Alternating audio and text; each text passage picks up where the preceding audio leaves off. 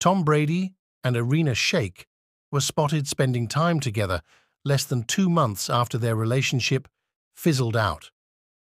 Brady, 46, picked up Shayk, 37, in Miami on Friday, December 8th, per photos obtained by TMZ.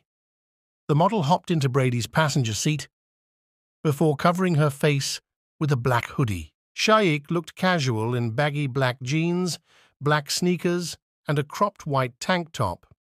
She wore natural-looking makeup, and her hair was in loose waves. The retired quarterback, meanwhile, wore a navy polo and a Boston Red Sox baseball cap.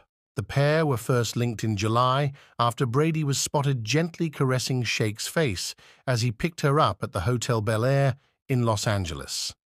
An insider told Us Weekly at the time that Brady and Shake exchanged phone numbers in June after they were introduced at a wedding.